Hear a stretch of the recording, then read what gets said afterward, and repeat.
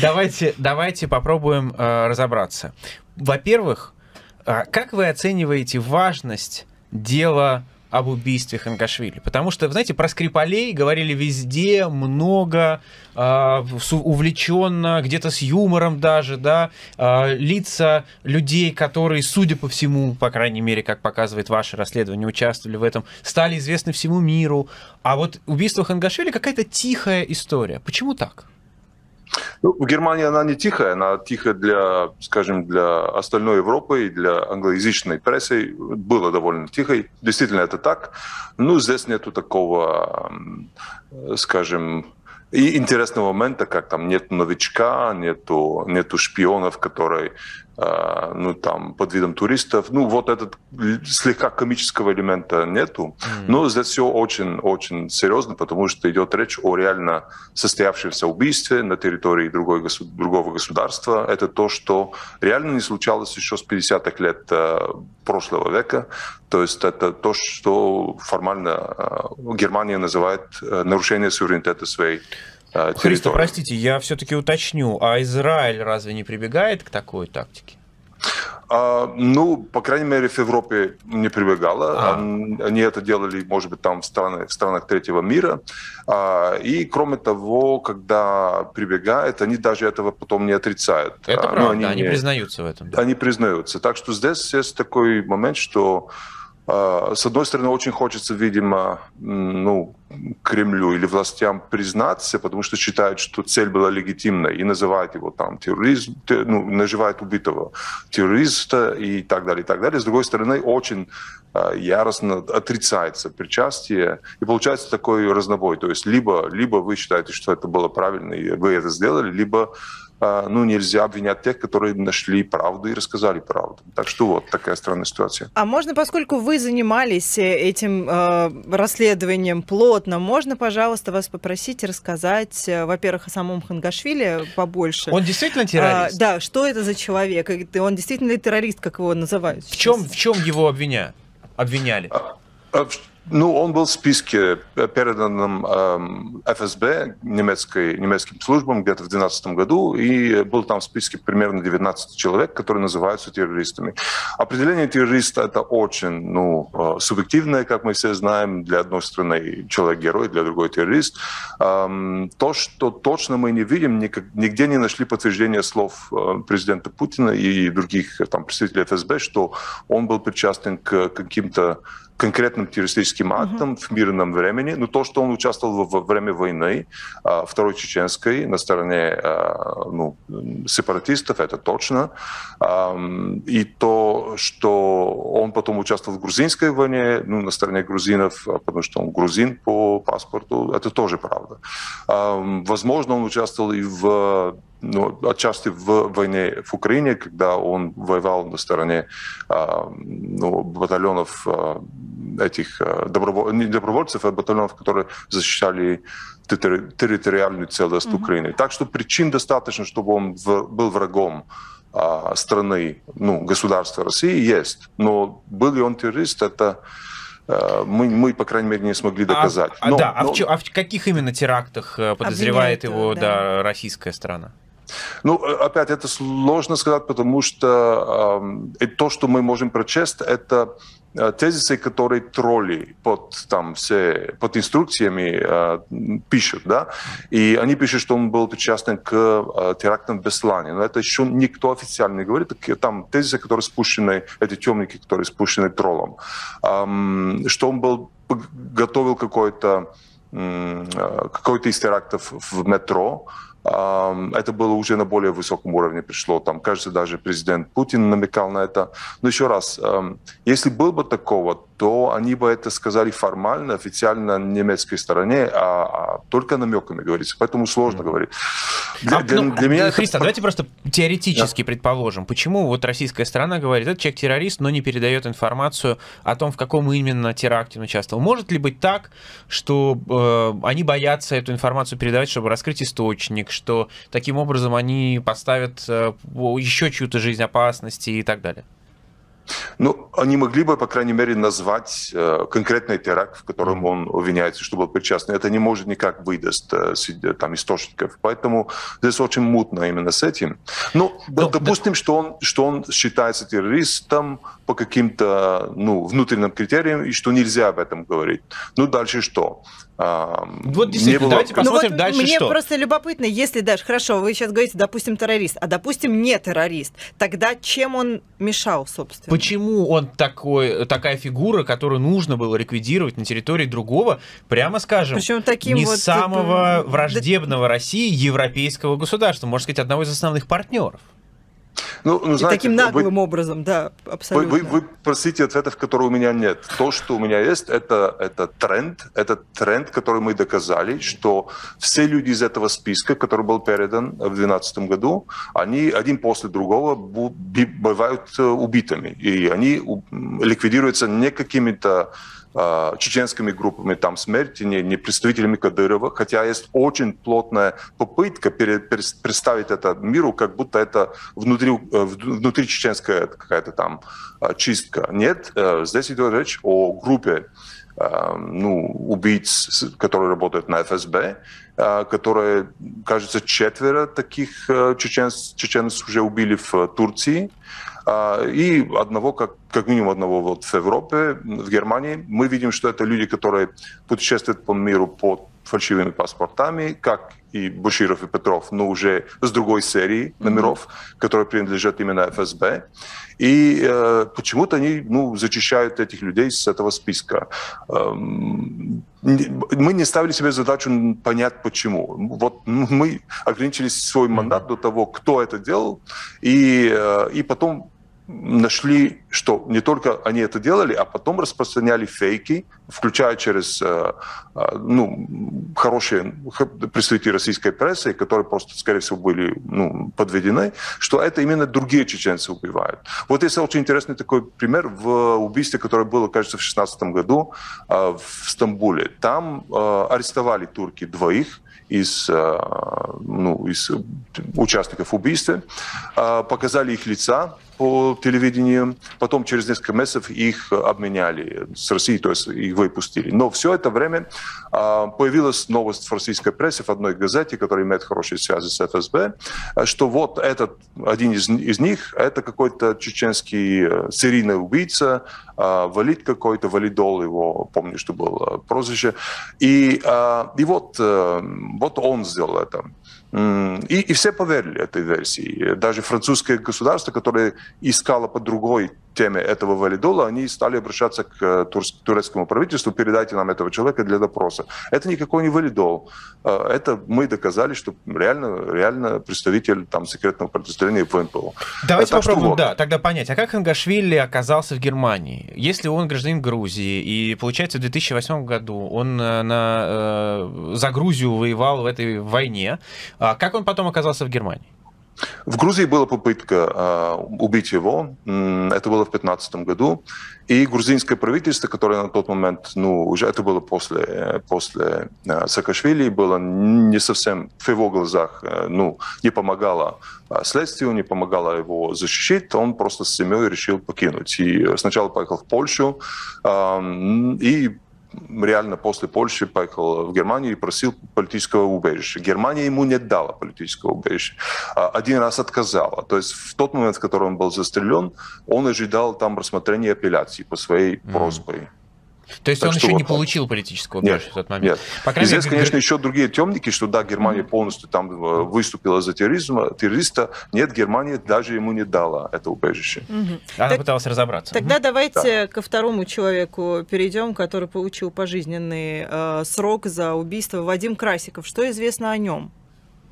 А, ну, сначала было известно то, что это человек с фальшивым паспортом, называл себя Вадимом Соколовым, 50 э, лет, э, э, говорил, что ему 50 лет, и что он, ну, строительный инженер. Мы очень быстро доказали, что такого человека вообще в мире нету, никогда не существовал. Он был придуман там 2-3 месяца до этой поездки в Берлин. А, ну, по поездке этот человек, который вылетел сначала в Париж, кажется, 16 или 17 августа 2019 года. Там прошелся по городу, сфоткался там перед ну, всеми там известными местами в Париже. Потом поехал в Польшу. Там, что интересно, он попросил посмотреть там на все шпилы, шпилы там дворцы, которые были рядом с Варшавой. Это неровно себя... они дышат к шпилям, да. Да, нанял себя хорошего гида, который потом все рассказал нам. А, и дальше он поехал в Берлин. Приехал где-то за несколько часов до этого преступления.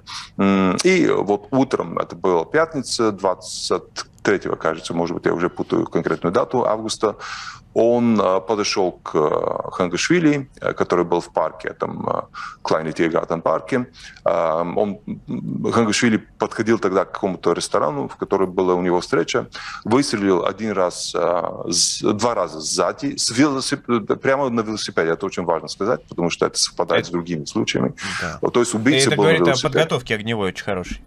А, да, да, да. И он ну, подъехал на велосипеде, стрелял два раза, потом ну, спустился с велосипеда, когда человек уже был на земле, и выстрелил еще раз контрольно Контрольный. в тыл его. Да?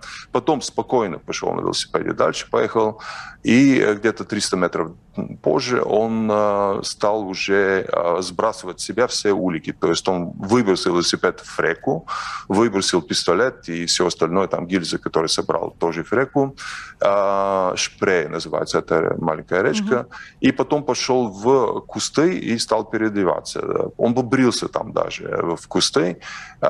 И одел уже не спортивное там одежды, с которой был раньше, а ну, такой туристический типичный outfit.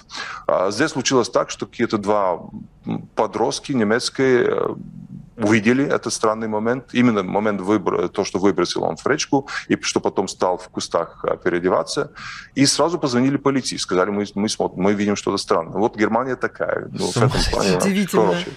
Это, это молодые люди, 15-16 лет, они взяли на себя этот риск и рассказали все. Надеюсь, это... их имена и фамилии нигде не звучат. Нет, не звучат, но это реально смелые парни. И если бы не было этого звонка, то ничего дальше, ни, нашего расследования, ни того, что мы нашли, ни, никогда не, не случилось. Потому что именно благодаря этим звонкам, звонкам где-то 10 минут позже не, до, до, не доходя до того скутера, как самок, а, самокат называется uh-huh. электрический, uh-huh. потому что он был припаркован где-то, очень такой самокат при, а, адаптирован без максимальной скорости. Знаете, что обычно там 25 километров, этот мог, бы, мог до, до 40 километров, а, но он не смог просто взять этот самокат и его арестовали. Так что вот, а дальше, дальше А история... как устанавливали да. потом его личность? Потому что, ну вот, какой-то человек с паспортом, говорит инженер, и что? Ну, как он э, стал были... Вадимом Красиковым, да, в какой-то момент. Да, это, это отняло довольно долго. Это примерно два месяца мы, мы искали его настоящую личность. А, ну, очень длинная история, нет у нас времени. Я расскажу чуть-чуть сокращенную версию, что обычно мы а, знали из загорушных там Буширов, Петров, как они создают себе фальшивую личность. Обычно там берут первое имя и даже иногда отчество из настоящего. Обычно берут а, тот же самый день рождения. Иногда, когда надо очень законспирированно быть, они берут э, чуть-чуть измененный день рождения, но всегда в, в, в том же зодиальном э, зодиаке. Да? Это, скорее всего, потому что, а чтобы почему? было... Потому что, оказывается, это один из вопросов, на который про, проверяется инстинктивный ответ. То есть, если ты, ты не можешь сразу зодиака? сказать, какой у тебя зодиак, А-а-а. то м, значит, все-таки, если ты задумаешься, Господи. значит... Так что вот такая оперативная штука, которую мы узнали. Так что вот, мы пробовали этими э, способами найти настоящего человека, но никто не подходил. А, плюс один, плюс два года там к рождению мы добавляли, и почти отказались. Когда мы решили расширить этот круг, а, плюс 3, плюс 4 года Игна, плюс 5 года, плюс 5. Это уже никогда мы не видели такую разницу между настоящими. Я подумал, плюс 12 по восточному календарю тоже, чтобы по гороскопу да, совпадало. Да. мы, мы, мы нашли вот в офлайнах, в офлайновских базах, э, ну, московской там Лариксе есть такая база, мы нашли человека, который был обвинен в том, что в 2013 году на велосипеде застрелил бизнесмена из Нальчика в Москве. И потом на велосипеде он сбежал а, ну, с этого, с места преступления. А, вот, подумали, вот интересно, тоже Вадим, а, ну, другая там фамилия, отчество, ну, тот же самый зодиакальный знак. И стали искать фотку этого Вадима. А, это было, кстати, очень такое интересное видео самого убийства. Оно было запечатлено на камере, и Life News тогда это ну, показало. Можно до сих пор найти это видео из камер наблюдения. Ну вот видите, Арам Ашотыч как э, в этом смысле помог. помог. Очень помог, очень да. помог. Очень помог, Сам потому что на этом видео этого. видно, видно реально этого, этот человек, который в Берлине потом а, убил. Но найти фотографии было очень сложно, потому что все было стерто по, а, именно в базах данных по этому Вадиму Красикову. А, и это нам дало еще дополнительную там, уверенность в себя, что мы знаем уже, кого ищем. В итоге мы смогли найти какую-то старую фотку и доказали, что это он.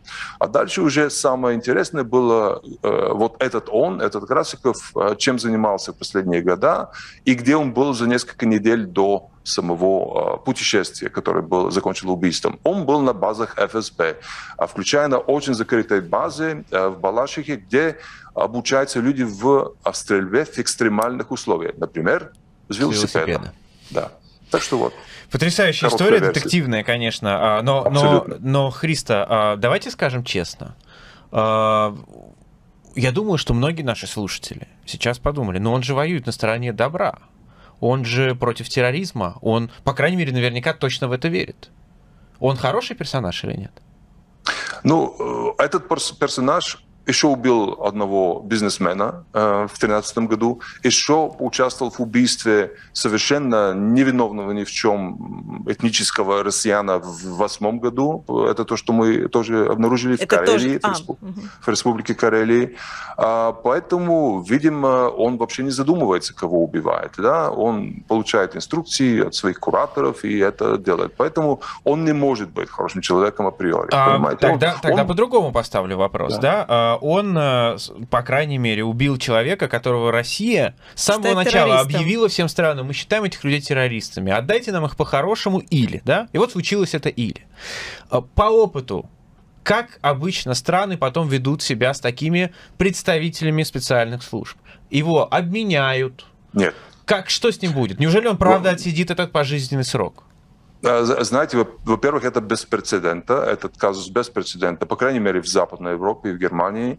Поэтому нельзя сказать, что вот есть практика а, установленная.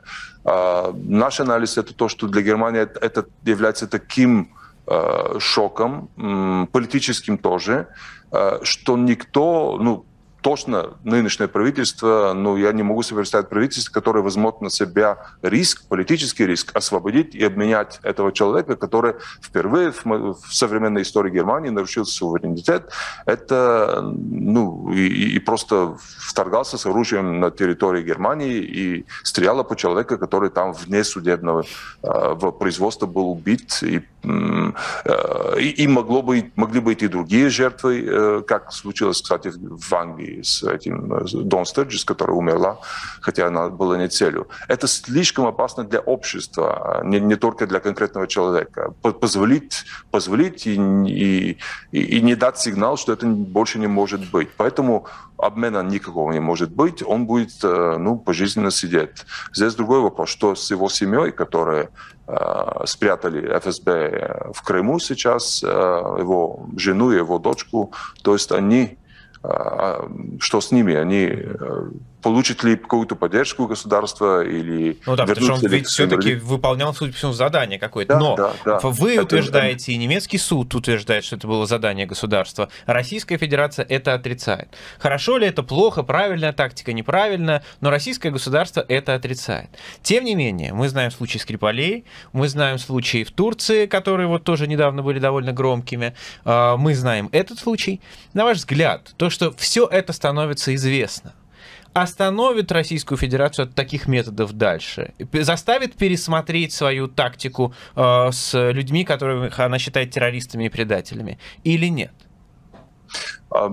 Сложно сказать, потому что есть два, два возможных вариантов развития. С одной стороны, именно то, что э, есть какая-то конспирология, которая э, бродит по там, коридором Кремля, что Запад, он все-таки, он нам намигает, он там, ну, понимает нас и из экономических интересов никогда ничего не сделает.